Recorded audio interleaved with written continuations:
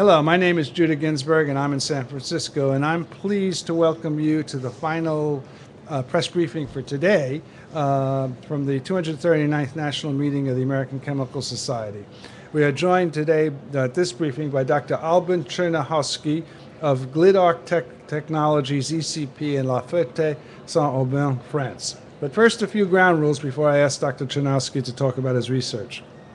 Would everybody in this room please silence your mobile devices? And please, when asking a question, give your name and affiliation and use the microphone that we will supply. In addition to reporters who are joining us in this room, we, are, we will be joined by reporters online via our Ustream channel, and they may ask questions as well. Also watching are ACS science writers who, are, who will ask questions from time to time, but we will defer to accredited news media first. For news media and bloggers online, we encourage you to embed or link to our video. An archive of this session will be available as soon as the briefing is over, and it can be found on our Ustream page, the URL for which is www.ustream.tv slash channel slash ACS Live. Well, with all that out of the way, Dr. Czernichowski, will you give us a brief overview of your research, and then we will open it up for, for questions. Uh, thank you. I'm a chemist and I'm a physicist. Uh, I'm also a musician. Uh, it happens that in uh, orchestral music, uh, there are uh, several voices, several tracks of um, music that are put together and then makes a nice uh, symphony. The same happened in chemical technology. since more than 100 years, people are looking for discharge, electrical discharge, plasma research. People are looking for gasification. People are looking for chemical synthesis. And uh, nowadays we have the problems with the energy, with the clean energy, and uh, what to do with the trash so an idea that uh, comes uh, is to convert the trash to fuel. The trash is just everything that you can see uh, in a garbage. It's a municipal waste, it's a landfill, and what we need, uh, we need a transportation fuel and independence for country having uh, uh, too much pressure on, uh, on oil. So, putting together all this idea, and it happened that I am quite old already, and um, my history of sins are quite long. So I put together something I met in my life, in my life uh, of university professor, first in Poland, then in uh, in, uh, in France, first in chemistry, then in physics.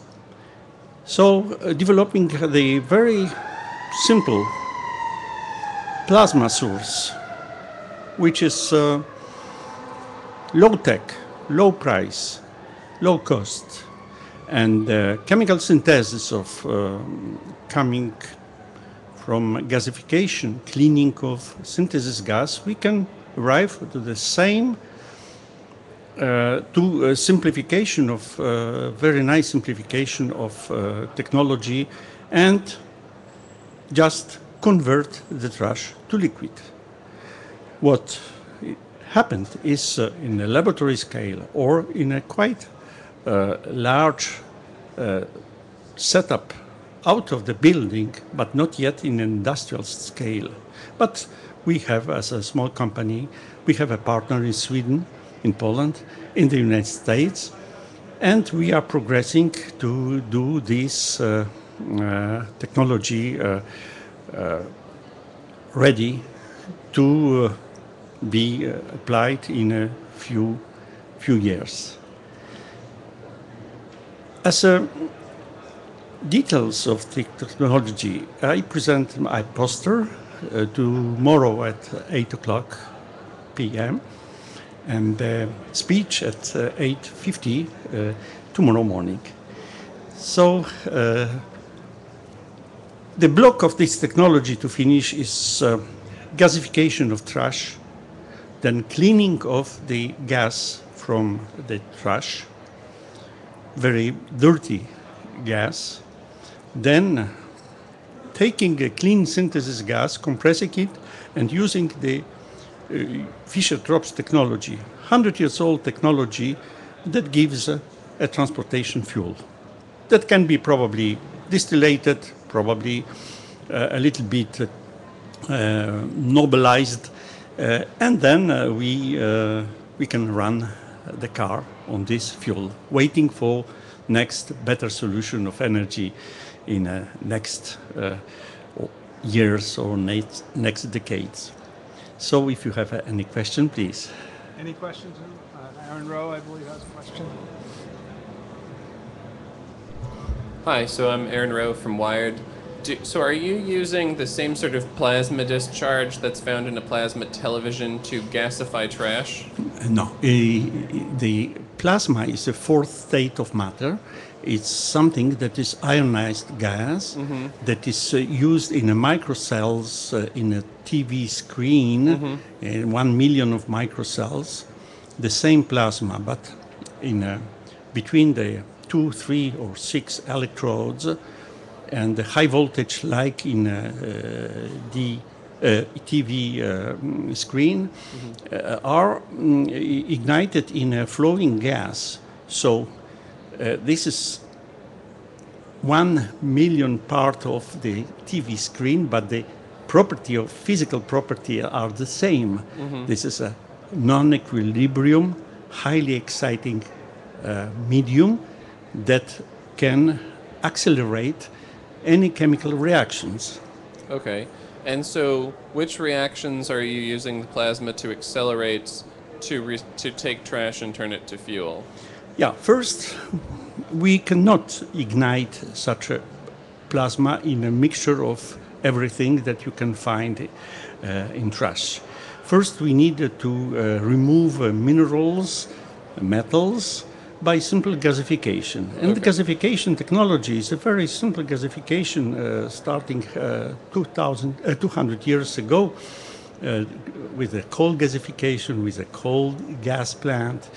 And by gasification, we can just remove all organic carbon from any any uh, feed, and then once we have a hot gas or hot vapor, then we cross this vapor, mix with a, a bit of oxygen, and produce a mixture of hydrogen and CO.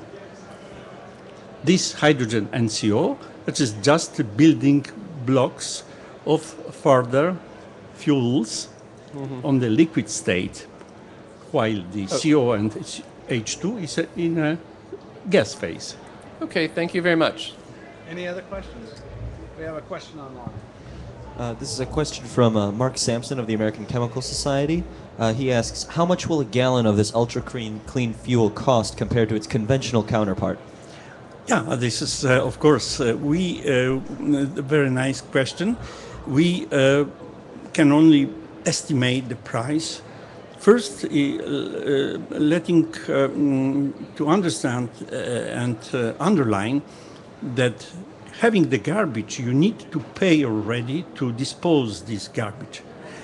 But if you accept this garbage, you just have money. Then gasification is very simple.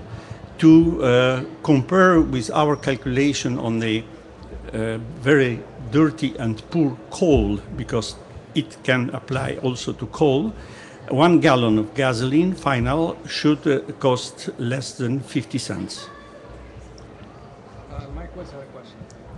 Uh, Dr. Czernichowski, would there be any benefit in using, uh, Mike Woods, from ACS Service, would there be any benefit in using this process on the gas that is produced by gas, from gasifying coal or gasifying lignite? Yeah, of course. This is another application which we are working on. Uh, very poor coal, uh, gasified simply to very uh, tar, very high tar containing gas without any uh, cleaning, crossing our GlidArc discharge, become uh, becomes uh, a clean synthesis gas, and then the rest of technology is the same. It, it would produce a cleaner synthesis gas? Yeah, of course, because uh, an, uh, uh, GlidArc technology that can uh, the gliding discharges that can be developed in uh, directly in a gas uh, have uh, this particularity that can uh, crack the tars and other molecules so that uh, we have a more synthesis gas and without any tars, any molecules. We add also a separate technology which is called the sulfur, which is uh, removal of sulfur that is always contained in a, in a, uh, in a coal, in the uh, also in trash. And uh, with this sulfur, we convert this sulfur to elementary sulfur, which is not toxic, and we recover hydrogen from hydrogen sulfide, that is a product of gasification. One more question? In your response to the previous question, did I hear you correctly that with this process you could produce diesel fuel that is 10 times cleaner than traditional fuel and yet costs Yeah. 30 times less? Yeah, it's exact. Uh, our uh, synthetic diesel is not a product of cracking of uh, conventional uh, residue of oil, petroleum oil. So our diesel does not contain any toluene, benzene, or xylene, which is BTX, very cancerogenic substances our diesel oil or gasoline oil is close to the fat that we eat. And we have already uh, the, uh, uh, the research result that show that they, this product is absolutely non-toxic. And uh, we probably will uh, also uh, uh, uh, adding that uh, that this product is not only non-toxic but is also green, completely green from biomass. So this is also renewable. Could you cook with it? Uh, how to conclude? Uh, we hope uh, we hope in a near future to have a demonstration plant in Florida and uh, using uh, Florida uh, trash uh, and converting this using some very old Indian gasification technology into synthesis gas and then building our own Fischer-Tropsch reactors and providing my catalyst, iron catalyst, uh, to Florida to show first barrels per day of uh, this product. Aaron, do you have a Oh, no, that's good. Anybody else? Any other questions? Uh, well, then in that case, that wraps it up for us today at the first day of the 239th meeting of the American Chemical Society here in San Francisco. We'll be back tomorrow morning uh, on Monday, March uh, 22nd at 9:30 a.m. Pacific Time.